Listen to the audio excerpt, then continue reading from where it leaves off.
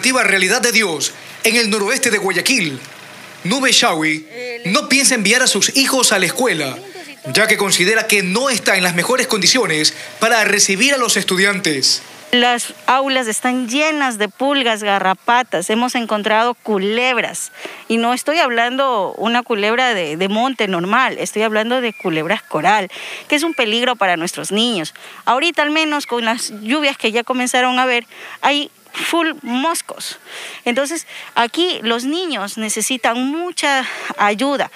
Joana Romero también está preocupada ya que las baterías sanitarias de la institución Luis Fernando Martínez no sirven y además tienen problemas con el suministro de agua potable. Nosotros los padres estamos preocupados cómo van a, van a volver nuestros hijos porque en realidad no, no están en condiciones, la escuela no está en condiciones de que los niños regresen. A pocos minutos de ahí, en la cooperativa Trinidad de Dios, la situación es igual de crítica.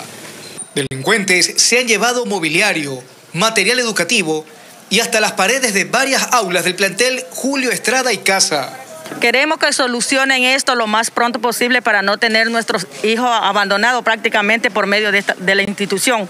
Y queremos que el gobierno, por favor, tome cartas en el asunto. No piensa mandarlo y necesitamos la solución del Ministerio de Educación. Yadira Blackman, subsecretaria nacional de Educación, reconoce que hay serios daños en la infraestructura escolar de Guayaquil, Durán y San Borondón.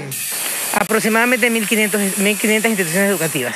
¿Y de estas cuántas fiscales? Cuántas eh, bueno, fiscales 150 aproximadamente y, y, particulares 880. Aproximadamente tenemos el 8% de instituciones fiscales que no estarían en condiciones de retornar. Eso significaría que ellas estarían dispuestas a regresar ya en el mes de abril. Las dudas y preocupaciones persisten entre los padres ante la inminente obligatoriedad que sus hijos regresen a las aulas muchas de ellas en pésimo estado.